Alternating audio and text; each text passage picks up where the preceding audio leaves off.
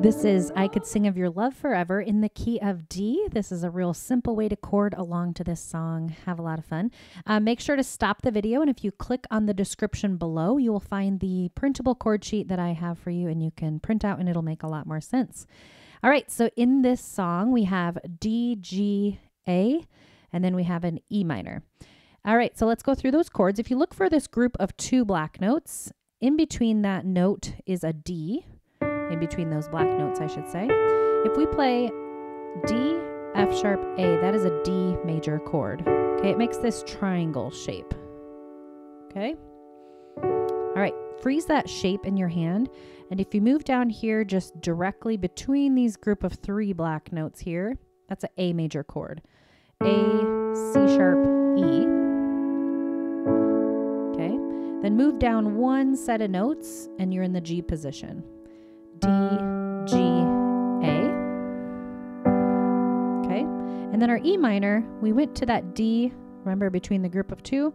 If you play every other note right up from there, E, G, B, that's an E minor chord, the E with the little M. All right, so just those four chords. So um, I'm going to put thumb on D in my left hand. For the left hand, we're just going to be playing single notes. So when we play a D chord here, we're just going to play D single note down here.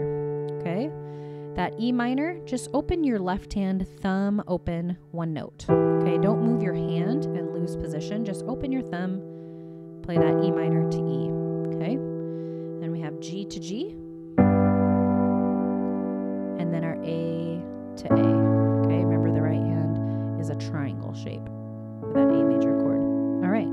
let's talk about the way the two hands are going to come together. It's written in 4 4 time signature, so it's a simple rhythm I call 1 to 2 ratio or together, right, together, right, together, right, together, right, and that looks like this.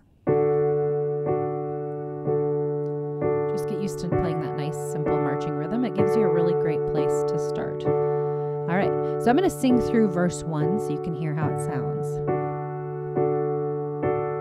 And over the mountains and the sea, your river runs with love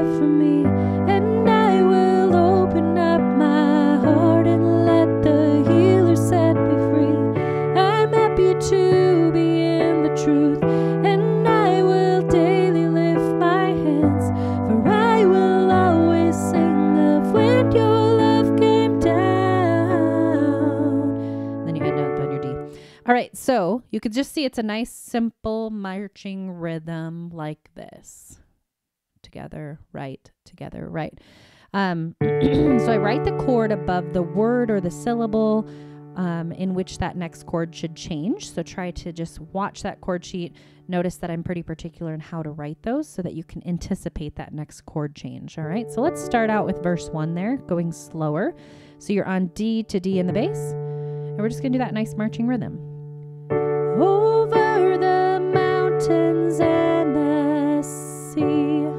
Sorry. The. Okay, then we move to the E minor. So open up your thumb. Your river runs with love for me.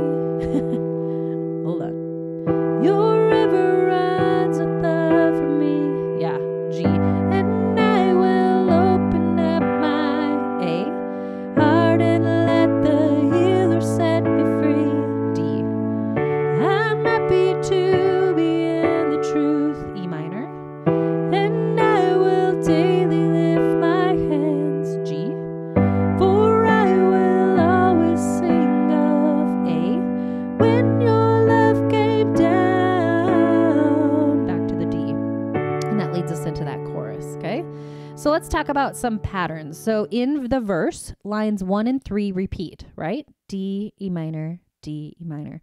Second and fourth line are G, A, G, A. So notice music has patterns and that helps simplify it. All right, let's look at the chorus. Same thing D, E minor, G, A, D, E minor, G, A.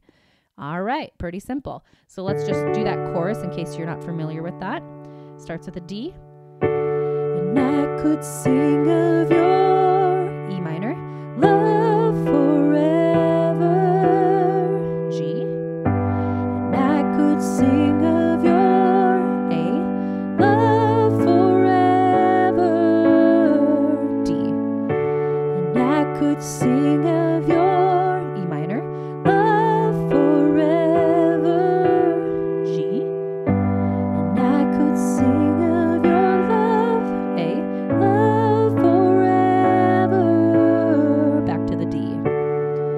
The bridge, um, let's talk about a pattern there. So if you notice, E minor, D, the first and third line, G, A are the second and fourth lines. So you can just go through it with just right hand only if bringing the two hands is too complex for you. So just go E and then D,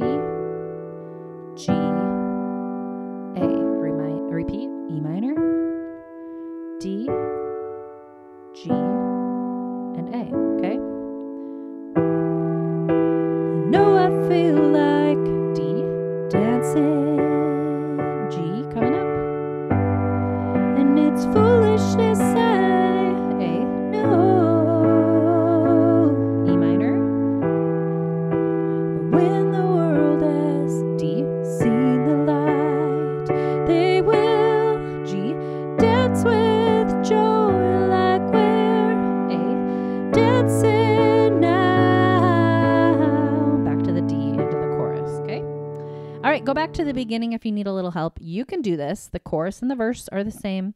Bridge just changes it up a little bit with the order of those chords. All right, here we go, beginning to end. Play along with me. Have a lot of fun.